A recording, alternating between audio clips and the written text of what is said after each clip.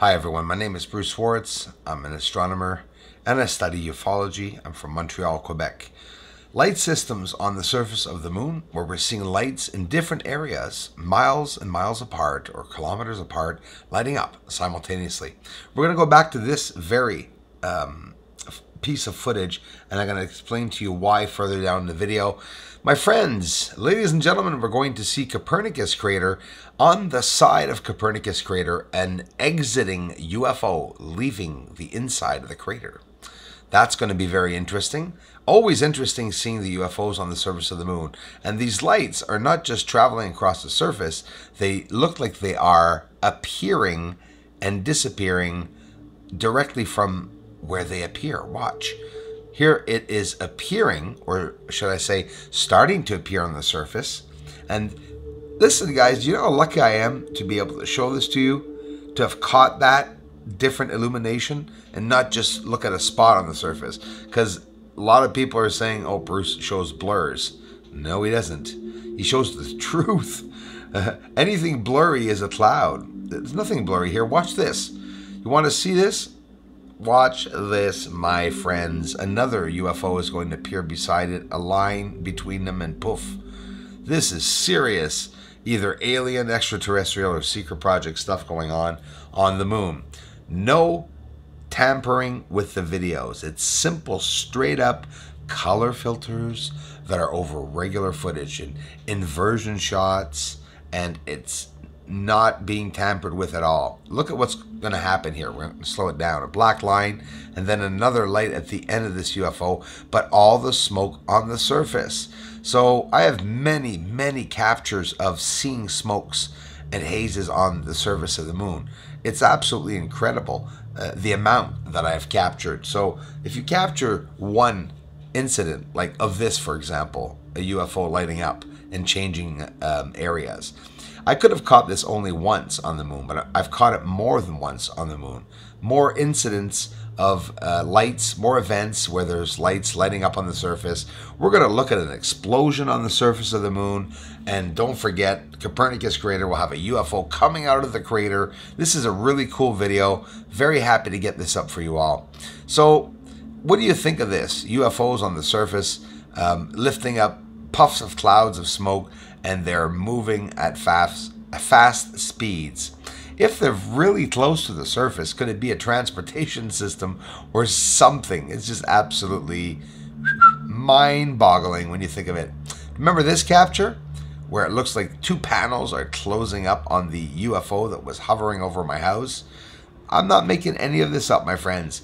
As um, crazy as some of these captures uh, sound, take a good look at all the proof and amazing captures and more on the way because I'm uh, always filming outside. And again, I got more footage I have to look through with um, from the infrared, more captures of UFOs that we're going to see. May, uh, I still have footage of the Perseid shower. I haven't even checked to see if I've gotten it yet. That's how busy I've been. Um, keeping up with the videos, just uh, amazing captures. I'm not to stop. You guys are so very supportive to the channel. I can't thank you all enough. Now, I could linger for many, many videos on these captures, and I'm just scooting through them. In this video, there are 15 to 20 different captures, maybe 10 to 15 different really good captures. And look here, UFO on the right, that red light as it's flaring up. But look what's happening on the left. A little object lights up. It's not little, but it's far away. It looks little. Watch this. Watch it light up. We're going to zoom in so now it looks like uh, we're swooping over, swooping over right, but in reality we're zooming in, and there's the fire on the surface of the moon, and not just the fire, guys and gals, beside the UFO. Here's one while I was setting up, okay, out of focus, imagine, and I still caught it. Here are the famous watermelon seeds that we see flying by the moon. But the problem is, those watermelon seeds are close to us. They're not on the moon. And this capture, where we see it very hard to see, but we see everything under the haze. That's a UFO under the haze.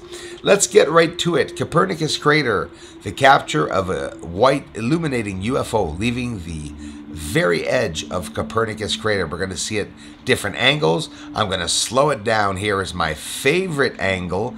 There it is, UFO coming out of Copernicus crater.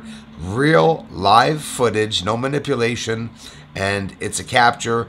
Uh, like, look on the left, the darkness is the inside of the crater. So we're right on the ledge. So there are holes on the sides all around Copernicus crater, possibly. I know there's one here because out of the darkness comes out uh, an illuminating UFO. We're going to try to get an even closer um, to see that. I don't know if I'm going to be able to with the footage, but that's just incredible. Right there, there we go, right in front of us right beside Copernicus, and not that bad of an image either.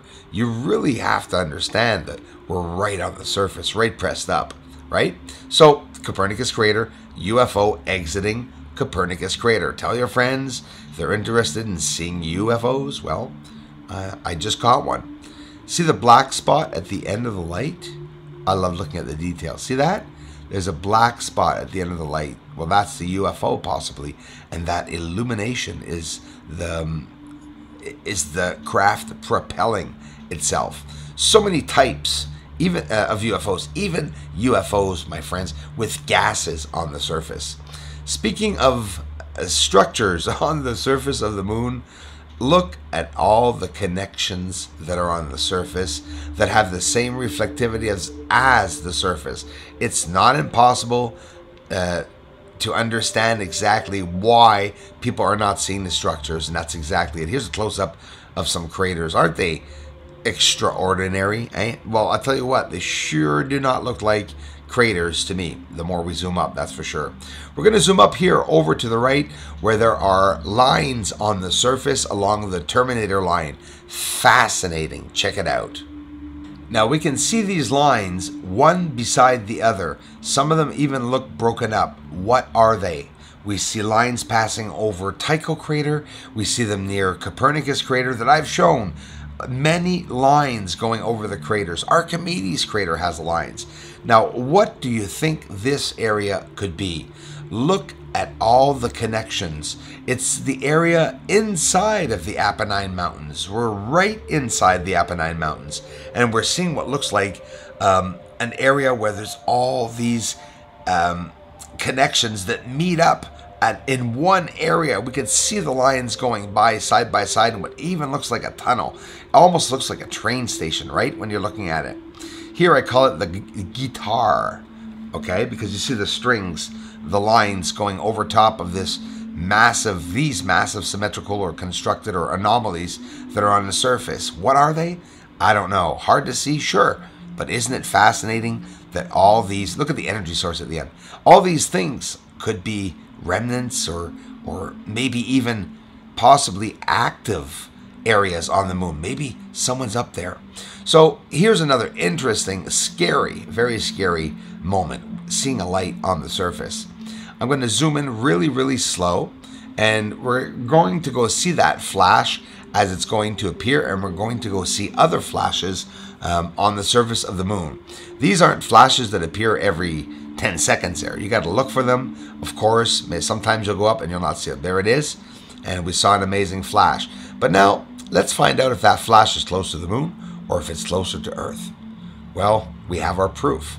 And that fast, yes it is actually on or near the surface because as at the same time as it illuminates, watch the other areas on the moon illuminate at the same time, thus proving to me that either that all those three areas are the reason why those lights are blinking, flashing.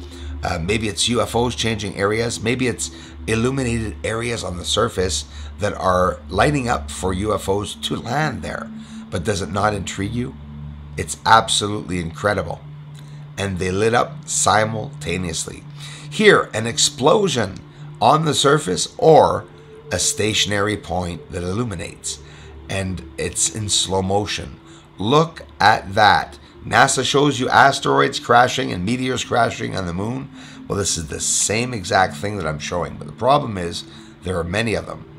And I'm seeing activity around it. You see another black spot right beside here. There we go. That is a pretty big explosion, my friends, or UFO illumination, let me tell you, it's at least two miles wide because of the way um, my focal length is and as close as I am with my telescope. It's a real thing, my friends. There are UFOs on the moon. The more we share these videos, the more uh, people will come and will be interested in this. I really appreciate appreciate your help for sharing these videos. Thanks a lot, everybody.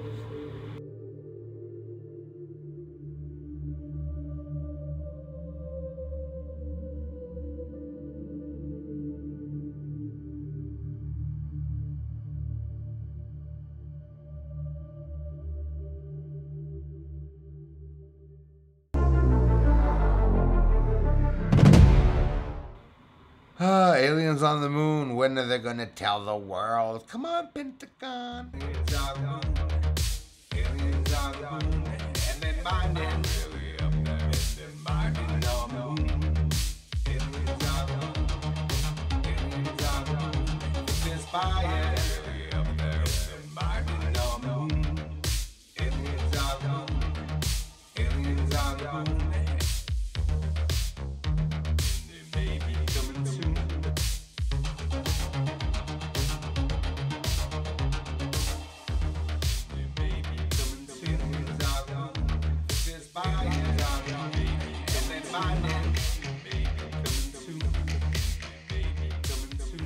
This is Houston. Please.